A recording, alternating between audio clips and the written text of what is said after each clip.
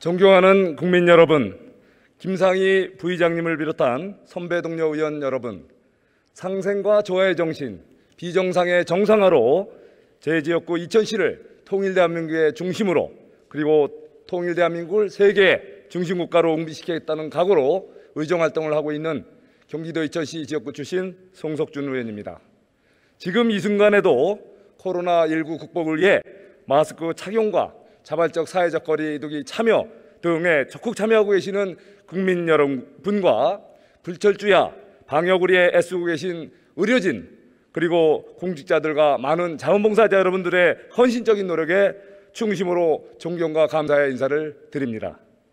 지금부터 대정부 질문을 시작하겠습니다. 홍남기 총리 대행 나와주시기 바랍니다. 예, 대행님. 어, 코로나 사태 대행 총괄 책임자가 누구입니까?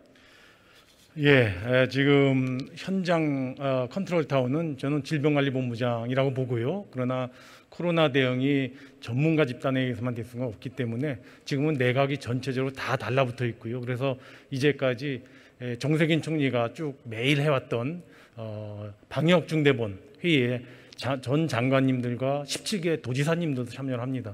매일 열리는 그 중앙 아, 방대본이 저는 어, 지금 말씀하신 그런 컨트롤 타워 역할을 한다고 보- 생각합니다. 그러시죠? 네, 근데 그 전임 정세균 총리님 어디 가셨어요? 예, 뭐 아시다시피 뭐 사, 사퇴하셨습니다. 왜 나가셨나요? 그건 뭐 인사 문제이기 때문에 제가 말씀드리기는 뭐 대행님, 지금은 코로나와의 전쟁 중 아닙니까?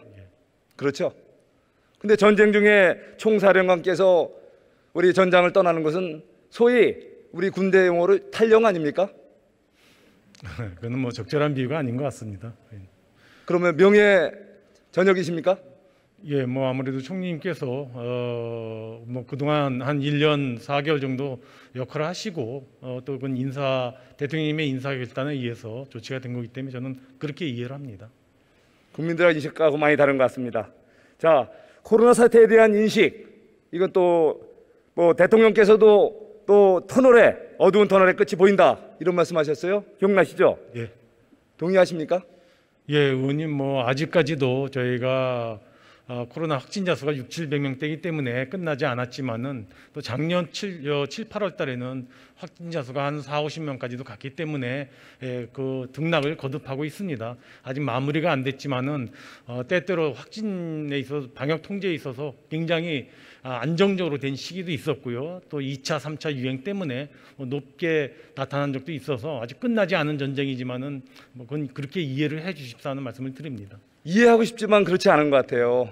많은 국민들은 아직도 터널의 끝이 안 보이고 오히려 터널의 붕괴 조짐마저 느껴진다 이런 생각한다는데 어떻게 생각하세요?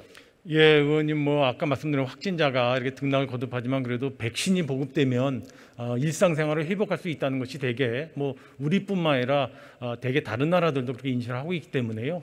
저는 방역 통제와 백신 보급이 같이 병행이 되면 뭐 어, 올해 내에 대개 어느 나라나 그 방역의 통제는 되지 않을까 일상 회복을 어, 또 시작할 수 있지 않을까 이렇게 생각이 됩니다. 예, 뭐 한다면 조건문을 자주 쓰시는데요. 이번에 더 심각한 것은 김호란 방역기획관 이번에 청와대에 새로 예, 임명하셨죠? 네. 이분 그동안에 많이 무리를 일으킨 건 알고 계시잖아요. 뭐 제가 뭐 무리까지는 잘 모르겠고요. 어, 방역기획관을 만든 취지를 저도 생각해 보니까 아무래도 어, 이 코로나 방역이 엄청 중요해서 청와대에서 일반 아, 행정 업무를 하는 비서관이나 수석이 담당하기보다는 아, 전문적인 조언이 필요해서 저는 별도로 신설한 걸로 그렇게 알고 있습니다. 예, 이분은 예, 초기에 중국인 발 감염 없다. 그리고 또 에, 백신 조기 서두를 필요 없다. 이렇게 하면서 심각한 이런 방역 전선에 혼선을 초래한 분이에요. 이분 이런 문제 없다고 생각하세요? 예, 뭐 그 제가 그런 그분이 그런 말씀을 뭐 하신 걸로 기억을 합니다만 여러 가지 또 어, 방역의 전문가이시기 때문에 어, 이런저런 의견을 갖고 계신 게 아닌가 싶습니다. 예, 정말 이게 컨트롤 타워에 문제가 있다고 생각합니다. 정작 전장을 지켜야 될 장수는 떠나고 그동안에 전장을 초기부터 힘들게 하고 꼬이게 하고 혼선을 빚은 장본인을 또 다른 사령탑에 앉은 거 이거는 정말 심각한 문재인 정부의 코로나 대응 컨트롤 타워의 현실 아닌가 싶습니다. 예, 의원님 저 아까 말씀드린 대로 내각 내에서의 컨트롤 타워는 이제까지 총리가 주재하는 그 중대본 회의였는데요. 매일 이뤄왔고요. 뭐 일주일에 7일 있었습니다. 어, 총리님 나가셔서 제가 잠정적으로 대응을 하고 있지만 어, 저도 오늘, 오늘 아침에도 그 회의를 하고 왔습니다만은 어, 뭐 부족하지만은 그 공백이 없도록 어, 방역의 공백이 없도록 지금 해나가고 있다는 말씀을 드립니다. 예, 그렇다면 그 대행님 지금 코로나 대응 우리 정부가 지금 잘하고 계시다 이렇게 생각하시나요? 예, 의원님 뭐 사실 코로나 위기에 어느 나라 저 팬데믹이기 때문에 모든 나라가 다 동일한 충격을 받고 위기를 겪고 있는데요. 예, 제가 이렇게 또 말씀드리면 또 자꾸만 자찬이라고 하실 텐데 뭐 방역에 있어서 K 방역의 성과라든가 또 경제적 측면에서 충격을 최소화하려는 노력은 뭐 저희들 입을 빌리지 않더라도 대개 국제적으로 또는 다른 나라들이 저는 평가를 해주고 있다고 생각을 하고 있고요. 다만 최근에 가장 관심이 되고 있는 것이 역시 백신 보급이기 때문에 백신 보급에 있어서는 뭐 약- 약간 어, 의원님께서 그런 꾸지람이 있을 수 있겠습니다. 정부로서는 그런 측면에서 그런 차질이 없도록 최대한 노력 더 노력하도록 하겠습니다. 예, 그동안 열심히 하신 것이 사회적 거리두기 아닙니까? 네. 방역의 핵심. 네. 그렇지만 그, 주, 그 중심에는 국민들의 자발적인 협조, 예, 그런 고통 감내 있었던 거 아니겠습니까? 네. 국민들의 공을 정부가 마치 자기의 공처럼 얘기하고 정작 해야 될 거 소홀한 거 이런 지적들이 많은데 어떻게 생각하세요? 어, 제가 오늘 아침에도 방대본 중대본 회의를 하면서 제가 어, 모두 발언에서 아주 강조해서 드렸는데요. 이번 코로나 위기를 극복하는 데 있어서 저는 뭐 정부의 역량도 있었지만은 가장 근본적인 것은 국민들의 참여하고 또 국민들께서 어, 사회적 거리두기 같은 것을 준수해 주신 그 힘이라고 저는 생각을 합니다. 그래서 제가 오늘 아침에도 특별히 거기에 대해서 어, 감사의 말씀을 드렸는데요. 의원님 말씀대로 국민들께서 제 1등 공신이시고요. 뭐 정부도 최소한 최대한의 그 역량 발휘를 하려고 노력했다는 점을 말씀을 드립니다. 마스크 대란 기억하시죠? 예, 그렇습니다. 진작에 마스크 대란은 없었어야 됩니다. 마스크는 전략 물자로 관리해서 진작 충분한 양을 확보하고 있었어야죠. 과거에 메르스 사태, 과거에 많은 사태가 있었지 않습니까? 그래 어떻게 생각하세요? 예, 뭐 작년에 마스크 사태가 났을 때 저희 기획재정부에서도 적극적으로 나서서 해- 어, 대응을 했습니다마는 초창기에 일부 혼란이 있었습니다. 그럼에도 불구하고 저희가 마스크 일일 생산량이 뭐 700만, 800만 장에서 나중에는 2천만 장 이상까지 갈 정도로 저는 신속하게 정부가 대응을 했다고 생각하고요. 또 국민들께서 이 오부제 제도, 이부제 제도, 오부제 제도죠. 오부제 제도를 잘 따라주시고 또 준수해 주셔서 저는 결과적으로는 그래도 마스크 대란 문제를 초창기에 어려움이 있었음에도 불구하고 잘 극복해내지 않았는가 이렇게 생각이 됩니다. 신속하게 대응했는데 대란이라는 말을 쓸까요? 초창기에는 그런 아까 말씀드린 혼란이 있었습니다. 그러나 아까 말씀드렸던 대로 생산량 늘리는 거와 또 오부제를 통해서 질서 있게 구매할 수 있도록 하는 조치를 인해서 저는 잘 극복이 되지 않았는가 이렇게 생각이 됩니다. 네. 자, 8월 확진자 폭발적인 증가, 2차 대유행이 있었죠. 네. 그 근본적인 원인이 뭐였다고 생각하십니까? 예, 의원님 뭐 저는 뭐 개인적인 의견을 얘기하라면은 저는 8.15의 여러 가지 집회도 큰 여, 저 요인이 됐다고 생각을 하고 있고요. 일각에서는 그 당시 사실 8월 10, 10일에서 14일 사이에는 하루 확진자가 40명 정도였습니다. 그 전에 7월 달에도 100명 이하였고요. 그러다 보니까 전체적으로 아 이제 코로나가 어느 정도 잡히는구나 하는 데 따른 약간 이완감도 또는 좀뭐 작용이 됐을 거라고 생각이 됩니다. 그러나 결정적으로는 저는 8.15 때 그렇게 그 준칙을 그 방, 방역 수칙을 지키지 않았던 어, 집단적인 어떤 그런 행사가 크게 촉발 요인이 되지 않았는가 저는 그렇게 생각을 합니다. 그래요? 네. 자, 지난 8월 17일 임시 공휴일을 지정했지 않습니까? 네. 그동안 피로한 분들에게 휴식을 드리겠다. 자, 그리고 8월 14일부터 8대 소비 쿠폰을 살포했습니다. 1,800만 명분이죠. 자, 이것이 주는 영향에 대해서 어떻게 생각하세요? 예, 어, 저 의원님 지금 말씀 주신 대로 7월 특별 여행 주간을 7월 1일부터 20, 19일까지 했는데요. 그 당시 확진자가 국내 36명, 총 51명이었습니다. 그리고 임시공휴일 지정한 게 7월 21일인데요. 그때 확진자는 45명이었습니다. 이게 일일 확진자가 4, 50명 정도로 돼 있을 때 그 저희가 정말 사회적 거리두기도 계속 견지하고 엄격한 방역 수칙을 준수하는 것이 맞는지 소상공인 자영업자가 갖는 고통을 따른다면 저는 그때 그와 같은 조치를 병행한 것이 탄력적으로 잘 대응한 게 아닌가 생각이 들고요.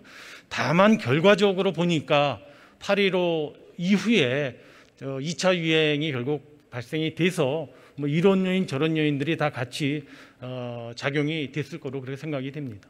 예, 많은 전문가들이 지적을 합니다. 임시공휴일 지적 그리고 또 대기, 대량 소비 쿠폰 살포 그 국민들에게 방심해야 된다는 시그널을 줬을 뿐더러 실제 많은 인구들의 국민들의 이도, 유동성이 늘어났습니다. 훨씬 더 8.15 광장 집회보다 훨씬 더 많은 인구들이 이동을 했죠. 자 이렇게 개- 누구나 다 있는 사실을 갖다가 남 탓, 다른 사람 탓만 한단 말이죠. 대행님 자꾸 그러시면 안 되죠. 예, 아까 의원님 말씀 주- 제가 드린 것처럼 어, 저는 지금도 다시 의사 결정을 하라 그러면은 확- 하루 확진자가 4, 50명인데 그 엄격한 어, 방역 수칙을 요구하고 또 어, 경제 활성화를 위한 소비 쿠폰 같은 제공 노력을 안 하는 게 맞는지 모르겠습니다. 하여튼 그런데 전체적으로 그와 같은 상황 속에서 어, 좀 이완감이 있어 어, 초래가 됐을 것이라는 것에 대해서는 좀 어, 저희가 다시 되새겨 보게 되고요. 저는 아까 말씀드린 것처럼 결정적으로 2차 유행의 에, 촉발 요인은 그렇게 무리한 집회를 강행한 거에 대해서 저는 어, 요인이 됐다고 그렇게 생각을 하고 있습니다. 예, 국민들이 심판하실 것입니다. 네. 자, 지금까지 사회적 거리두기 조정 몇 번 하셨습니까? 어, 몇 차례 등락을 거듭했습니다. 어, 뭐 그는 저 사회적 거리두기 방안도 개편이 된 적이 있었고요. 또 2.5단계까지 올라갔다가 다시 1.5단계까지 내려고 여러 번 등락이 있었습니다. 5월 6일 처음 시행한 이래 우리가 그 카운트 해 보니까 무려 23번을 조정을 하셨더구만요. 조정의 강도를 높이거나 또는 어, 등락을 조였다 풀었다를 했죠. 네. 자, 어떻게 생각하세요? 이렇게 자주 한 거의 성과 충분히 나타났다고 보십니까? 예, 의원님 저는 그렇게 생각합니다. 저희가 방역 하나만 잡으려 그러면요. 가장 최고 단계의 방역을 가장 세게 오래 그냥 하면은 제일 낫습니다. 그럼 방역이 100% 어, 효과를 발휘할 수 있을 텐데요. 어느 나라나 마찬가지로 또 경제를 고려하지 않을 수 없고 또 국민들의 그 자영업자나 소상공인들의 그런 어, 영업도 고려하지 않을 수 없기 때문에요. 저는 나름대로 그 확진자의 숫자라든가 방역 상황에 맞춰서 그런 거리두기라든가 방역 단계를 조정하는 것은 어떻게 보면 좀 신축적으로 탄력성을 보인 게 아닌가 이렇게 생각이 됩니다. 그걸 꼭 나쁜 쪽으로만 이렇게 생각하기보다는 또 그런 탄력과 신축성을 좀 부여했다라고 이해해 주시기 부탁을 노력은 좋습니다. 하지만 그것을 보완적으로 자꾸 이게 개선 발전시켜야 되는 거 아니겠습니까? 네. 그렇지만 반복해서 조였다 지- 풀었다 이 정도 단순은 이게 반복을 해왔다는데 문제가 있는 거 아니겠습니까? 그러다 보니까 예 부동산 정책 그동안 25번 연속 헛발질하면서 결국 심각한 상황 초래한 건 알고 계시죠? 예, 뭐 부동산 시장이 불안정한 거에 대해서는 제가 또 송구하다는 또 말씀도 드렸습니다. 예, 25번의 부동산 정책 이런 결과 참혹한 결과를 보면서 지금 23번째 풀었다 조였다 조였다 풀었다 하는 이 23번째 사회적 거리두기 이것이 마치 부동산 시장의 참혹한 결과를 말해주는 듯합니다. 언제 그동안 잘못했다는 것에 대해서 인정하시겠습니까? 의원님 지금 23번째 그러니까 또 이게 또 언론에 희화화될 것 같은데요. 제가 보기에 23번이라는 거에 대해서 좀 저는 처, 들어본 적이 없습니다. 아까 말씀드린 대로 크게 방역 단계가 올랐다 내렸다 하는 몇, 단, 몇 차례는 있었지만은 또 다시 뭐 몇십 차례 이렇게 해서 그거는 제가 확인을 해보겠습니다만 제가 근거는 없는 것 같습니다. 두 번 더 조정한 다음에 정말 이게 사회적 거리두기 실패를 인정하시겠습니까? 의원님, 저는 사회적 거리두기가 실패했다고 생각하지 않습니다. 정부가 사회적 거리두기를 결정할 때는 그냥 저희 같은 공무원이 결정하는 게 아니고요. 어, 방역에 대한 전문가라든가 의료진들, 전문가들이 다 모인 데서 의견을 수렴해서 하기 때문에 에, 뭐 저는 굉장히 정부도 그 단계를 결정할 때는 신중성을 기했기 때문에 그렇게 좀 이해를 해주시기 바랍니다. 통계를 보면 집단 감염은 오히려 줄고 지금 개인 감염, 그다음에 원인 미상의 감염이 늘고 있다고 합니다. 이것은 바로 지금 현재 방식이 잘못됐다는 걸 말해주지 않겠습니까? 예, 의원님 지금 말씀 주신 대로 서 감염 경로가 파악되지 않는 그런 어, 확진자가 있어서 정부도 좀 어, 아주 경각심을 갖고 있는데요. 어, 그래도 다른 어, 다른 나라라든가 또는 우리의 과거 사례로 본다면 지금 어, 상당 부분 저는 그런 어, 확진자에 대한 경로 파악이라든가 대응이 에, 그렇게 나쁘지 않다라고 생각을 합니다. 저 최선을 정부는 다 하고 있습니다. 예, 그동안에 사회적 거리두기 하시느냐고 하시는 정부도 고생하셨어요. 하지만 모든 것이 국민들의 고통으로 기결되지 않았습니까? 이제는 그 고통이 이제는 국민들도 참을 수 없는 인계점을 지금 넘어서고 있다고 합니다. 지금 통계 한번 좀 보시죠 자료. 확진자 코로나 추이와 주말 고속도로 통행 변화 추이를 좀 봤어요. 예, 총리님 혹시 좀 보이시나요? 예, 예. 예, 과거 이렇게 극성기에 확산기에는 그 이- 주말 고속도로 통행량이 줄었습니다. 그게 1차, 2차, 예, 3차 때까지도 명확하게 저렇게 통계로 나타납니다. 근데 최근에 4차 확장기에 오히려 저 고속도로 통행량이 늘고 있다는 거 이거 시사하는 바가 크다고 보지 않습니까? 예, 의원님 그 아무래도 바- 코로나 위기가 1년 이상 거의 1년 3개월이 다 돼 보니까 저는 뭐 국민들의 피로감도 많이 누적이 됐을 거라 생각이 됩니다. 그래서 어, 의원님 말씀 주신 대로 어, 구- 국민들의 이동성이 예전보다 많이 느- 늘어났습니다. 그래서 또 그 거꾸로 그 얘기는 또 방역의 긴장감을 더 높여야 되지 않느냐 하는 그런 의미로도 저희도 받아들이고 있습니다. 그러면 또 또 조이겠다는 말씀이신가요? 아닙니다. 지금은 정부가 아, 아, 지난주에 저 방역 수준을 결정한 것을 그대로 유지하고 있고요. 실질적으로 확진자 수가 지금 6, 700명대에서 이렇게 횡보를 하고 있기 때문에 당분간은 지금 방역 수준을 견지해 나갈 계획입니다. 네, 국민적 피로감이 극대화돼서 지금 폭발 직전이라는 거 명심하십시오. 거기 그뿐이 아닙니다. 소상공인, 자영업자 정말 지금 가게 닫고 더 이상 이제 견딜 수가 없어서 파탄 이거 다 나오지 우리 저 코로나 신용 불량자들 대거 속출하고 있는 거 알고 계시죠?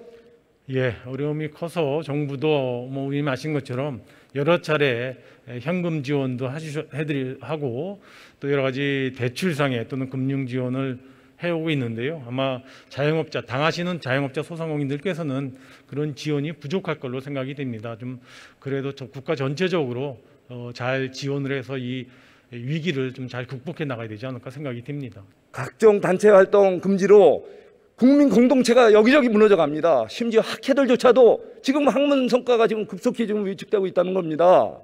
이거 그냥 방치해서 되겠습니까? 예, 근데 그 의원님 뭐 그거는 저 정부도 최대한 노력을 하고 있습니다만은 사실은 뭐 우리뿐만 아니라 다 어- 대부분 나라들이 공동적으로 직면해 있는 사안들이고요. 사실 어떻게 보면은 저 소상공인 자영업자를 위한 봉쇄 조치 같은 경우는 사실 우리보다도 선진국 같은 경우는 정말 저희보다 몇 배에 해당되는 강도로 할 정도로 심각한데요. 그래도 저희는 어려운 과정에서도 또 잘 국민들께서 협조해 주시고 또 정부도 지원하면서 어, 위기를 이렇게 이겨내 오고 있지 않는가 싶습니다. 일단 정부가 더, 더 지원할 수 있도록 노력을 하겠습니다. 예, 더 심각한 것은 교육 시스템이 무너지고 있다는 겁니다. 학생들 간 학력 격차가 심해지고 또 학력 수준이 심각하게 지금 낮아지고 있다는 이거 정말 심각한 문제 아니겠습니까? 미래 세대들 이번에 대해서는 어떻게 생각하세요? 예, 의원님 말씀 주신 대로 그렇지 않아도 교육 격차가 있는데 코로나 위기 때문에 비대면 교육을 한다든가 여러 가지 과정에서 저는 교육 격차의 폭이 더 커져가는 것이 우려스럽습니다. 그래서 어, 교육부총리께서 답변도 주셨지만은 여러 가지 교육 격차를 보강할 수 있는 특히 이번에 타격을 많이 받은 저소득 계층이라든가 어, 그런 계층의 교육 격차를 좀 보강해 줄 수 있는 그런 대책을 정부 예산 사업으로 하고 있는데요. 어, 저는 뭐 그쪽에 큰 진전이 있어야 되지 않을까 싶습니다. 저도 우려하고 있습니다. 예, 지금 이러한 식으로 단체 기합 주기식 사회적 거리두기는 국민들의 피로감뿐만 아니라 여기저기 국민 공동체, 국민 각 영역을 무너뜨리고 있습니다. 더 이상 이런 사회 주, 저 거리두기만을 고집해서는 안 되시겠죠? 예, 뭐 거리두기와 또 여러 가지 다른 파트의 그런 이해를 잘 균형 있게 하는 것이 저 과제가 아닌가 싶습니다. 예, 근본적인 게임 체인저, 근본적인 해결책이 나와야 되겠죠. 뭐라고 생각하세요? 예, 지금으로서는 제가 본 데는 뭐 백신에 대한 조기 보급이 저는 가장 첩경의 해법이 아닌가 싶습니다. 예, 잠깐 좀 화면 좀 보실까요? 예, 화면에 나오지만 예, 우리 백신 조기 도입한 나라 벌써 자- 일상 되찾고 있습니다. 우리 저게 뭡니까? 자, 그럼 백신 도입을 위해서 우리 정부는 어떻게 최선을 다해 오셨습니까? 예, 의원님 뭐 제가 여러, 여러 차례 말씀드렸습니다만 정부의 최우선 과제도 어, 백신 확보와 백신 접종입니다. 어, 그래서 어, 아까 말씀드렸습니다만은 상반기에 저희가 하여튼 1,200만 명의 국민들께서 꼭 백신을 맞을 수 있도록 그렇게 해 나가고요. 어, 한 5개월 뒤인 11월 달에는 정부가 목표하는 3,600만 명, 소위 집단 면역이 가능하도록 어, 저희가 차질 없이 추진해 나가도록 하겠, 하겠습니다. 예, 잘 아시는 대로 한때는 국민들의 적극적 협력 속에 K 방역은 세계가 부러워하는 정말 대한민국이 모범 국가였습니다. 그 모범 방역 국가 대한민국의 현실 어떻습니까? 저 통계표 보시죠. 오늘자 뽑아 보니까 4월 19일 현재 한국이 세계 104위랍니다. 며칠 전보다 또 내려갔어요. 이 심각한 상황 우리 대행님 어떻게 생각하세요? 예, 예, 의원님 제가 아까 저희도 뭐 인정했지 않습니까? 지금 171만 명이 접종을 했다고요. 퍼센테이지는 저 의원님 지적하신 대로 3, 4%인데요.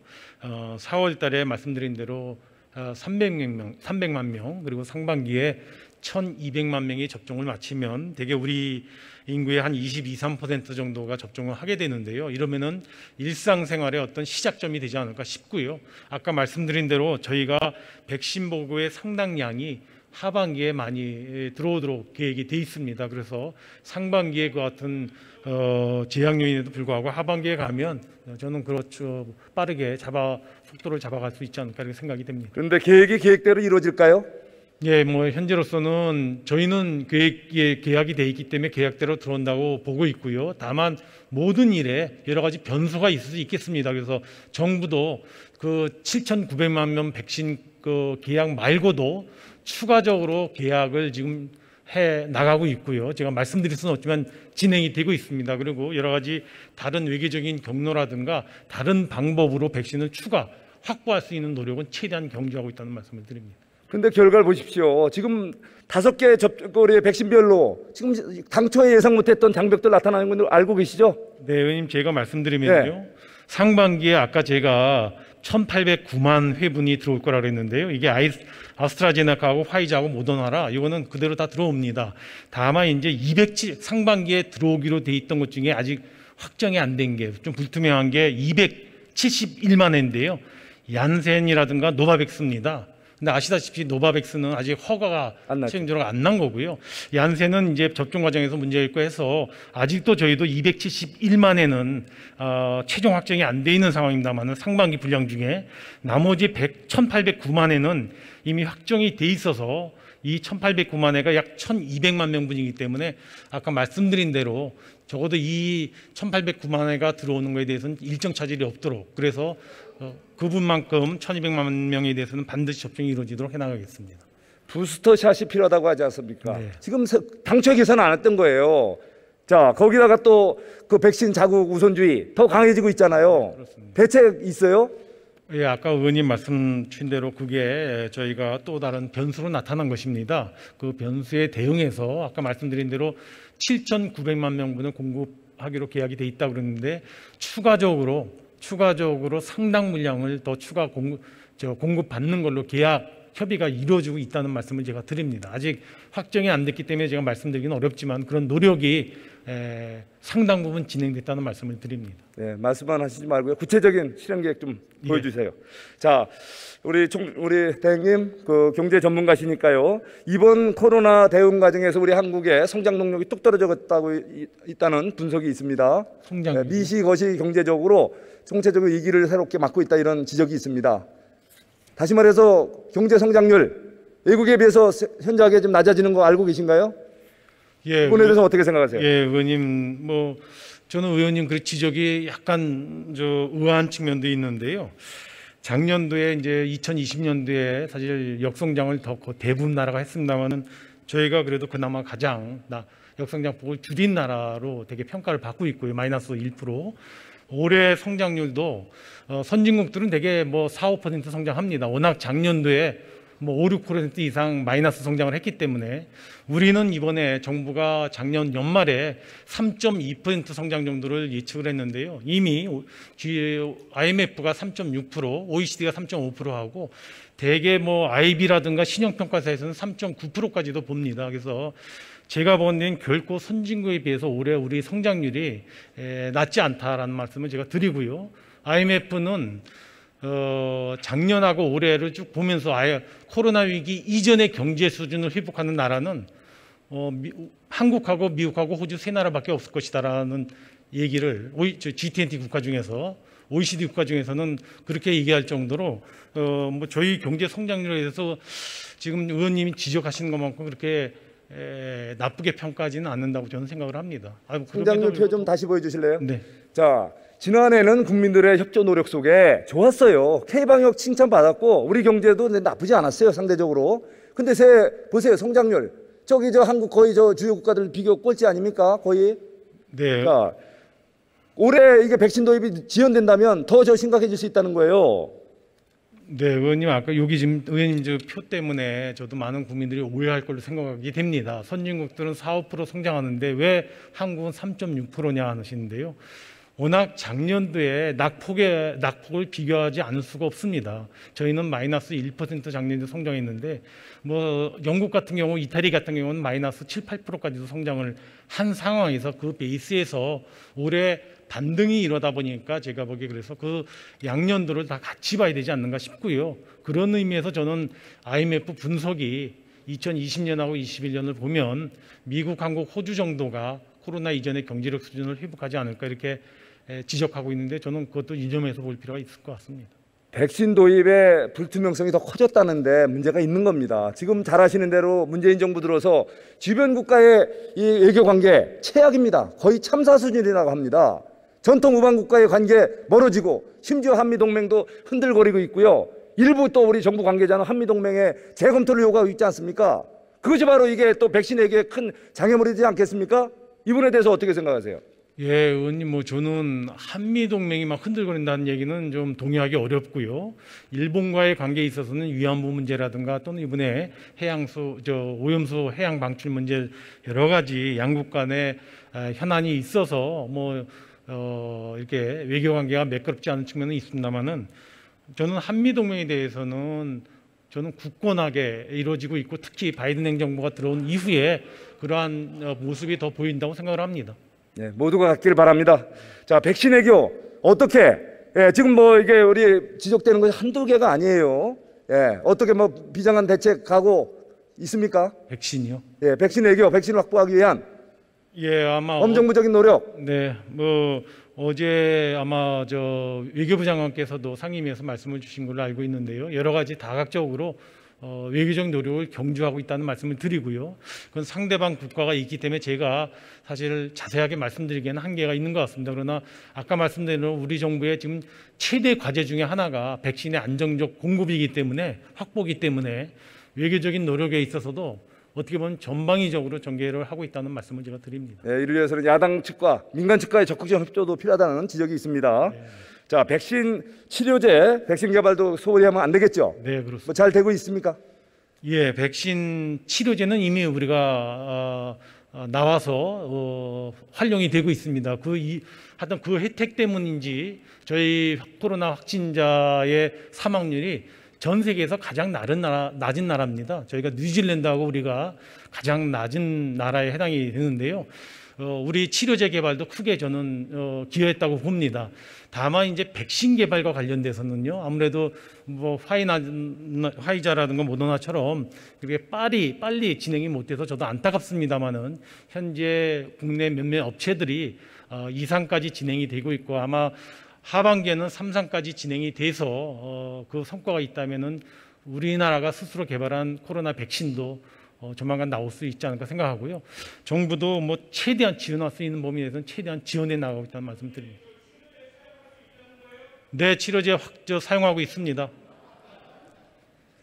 저 한국 방역 대책에 변이 바이러스에 대한 대책이 현저하게 부족하다. 그리고 외국인 관리 제대로 안 되고 있다. 이런 지적이 있습니다. 이 부분에 대해서 어떻게 생각하세요? 예, 변이 바이러스에 대한 대응 관계는 뭐 사실 제가 전문가가 아니라서 의원님 질문에 아주 어, 광범위하게 답변 드릴 수는 없, 없을 것 같은데요. 어, 제가 질병관리청장한테 들은 바로는 어, 벼- 매일 저희가 회의하면서도 변이 바이러스에 대한 확진자 숫자라든가 대응 동향을 점검을 하고 있습니다. 좀 더 노력을 하겠고요.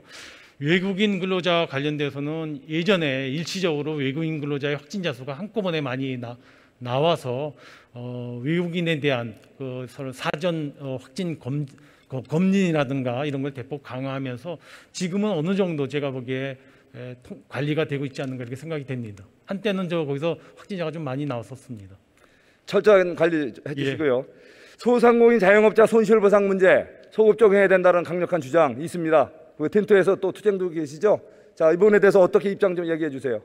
예, 의원님 뭐 그건 저 어제 그저께도 그 지적이 많이 있어서 제가 말씀을 드렸는데 어, 정치권에서 소급을 많이 말씀을 주시는 것 같습니다. 그러나 정부가 애당초에 그 입법화하기로 할 때부터도 정- 정부도 많은 검토가 있었는데요. 에, 소급에 여러 가지 문제가 있다 해서 정부로서는 에, 소급 적용하는 것에 대해서 굉장히 에, 쉽게 에, 동의하기 어려운 측면이 있다는 말씀을 드립니다. 어, 뭐 국회에서는 아마 여야께 여야가 그런 어, 요구가 있는 걸로 저희도 잘 알고 있습니다. 해외에 급박한 사업상 출- 출장자라든가 외국 유학생들에 대해서 지금 백신 우선 접종이 안 되고 있는 걸로 알고 있습니다. 지금 그 단순 그 기간 이런 거 없이 급박한 이런 상황에 대해서도 백신 우선 접종 대상자로 지침 개정할 용의는 없습니까? 예, 의원님 저 기업인들이라든가 해서 긴급하게 해외로 출장 갈 때는 백신 우선 접종을 해주고 있습니다. 물론 이제 신청한다고 모든 사람만 해주는 것이 아니고 정부가 갖고 있는 지침상에 해당이 될 때는 해주는데 지금 제가 기업인들을 만나보면 그 제도를 많이 활용을 하고 있습니다. 다만 이제 조 의원님이 두 번째 지적했던 유학생에 대해서는 그런 제도가 없습니다. 아직까지는 유학생에 대해서는 그런 우선순위가 안 가 있는데요. 어, 뭐 그런 여력이 있는지 제가 한번 다시 한번 살펴보도록 하겠습니다. 사회적 거리두기 현실화로 종교 활동이 위축된다는 지적이 있습니다. 예, 종교 이런 행사, 예배와 기도 이런 회를 마치 어, 식당, 카페와 같은 수준으로 이 그룹으로 분류해서 어, 종교에 대한 어떤 탄압 성격도 있다 이런 지적도 있습니다. 이 부분에 대해서 어떻게 시정할 용의는 있습니까? 예, 의원님 제, 제가 보건대는 지금 종교계는 뭐 카페라든가 이런 데 가고 동일하게 하기보다는 원래 예, 종교계가 갖는 특성이 있어서 지금 7대 종단과는 별도로 협의회가 구성이 되어 있습니다. 그래서 정부가 사회적 거리두기라든가 방역 강화든가 강화 조치를 함에 있어서는 7대 공단과 함께 되어 있는 그 협의회에서 충분히 의견 수렴도 하기 때문에 저는 의원님께서 그렇게 걱정하시는 것만큼 어, 그냥 어, 마구잡이로 이렇게 방역에 주- 방역을 요구하고 있는 것 같지는 않고요.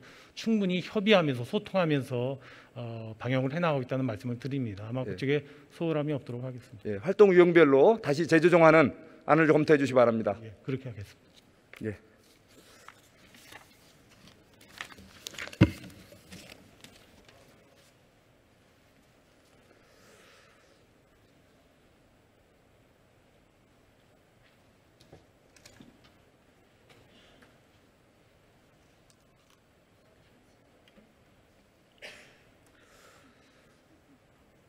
존경하는 국민 여러분, 정부의 존재 이유는 국민들이 고통을 느끼고 해결하라고 엄명하시는 문제를 해결하는 것입니다.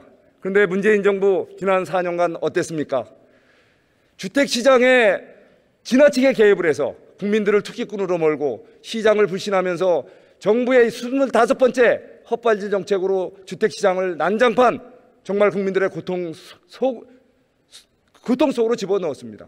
자, 여기에 또 코로나를 대응하는 정부의 능력, 정부가 직접 나서야 될 백신 확보, 백신 개발 노력에는 소홀했다는 것이 현재 상황이 말해주고 있습니다.